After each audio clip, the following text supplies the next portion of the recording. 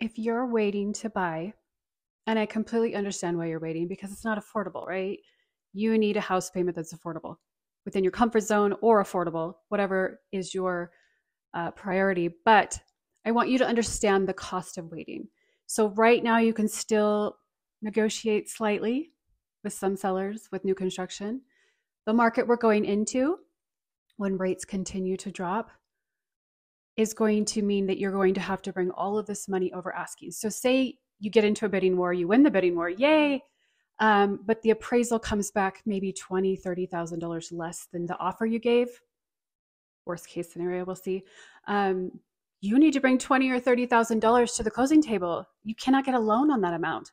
So if you've got twenty to thirty thousand dollars extra right now, let's get under contract, refinance in six months or more when the rates bottom out, and you're not getting into bidding wars. And I don't really know anybody that has twenty to thirty thousand dollars extra that they can just throw out into their house and pay over what it's worth.